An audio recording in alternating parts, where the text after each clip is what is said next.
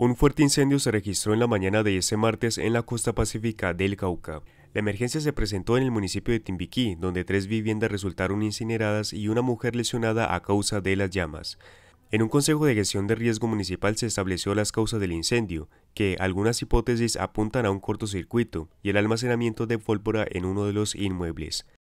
Sin embargo, ante este hecho quedó evidenciado para este municipio la falta de elementos para atender emergencias, puesto que solo con una máquina de bomberos, una manguera y unos baldes, los socorristas y habitantes tuvieron que afrontar las llamas y controlar el incendio, y de esta manera evitar que se expandiera a otros locales.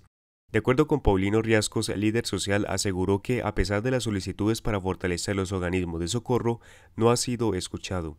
Por otro lado, la alcaldesa Yadira Amu manifestó que hay que resaltar la solidaridad de los habitantes que acudieron a controlar la emergencia.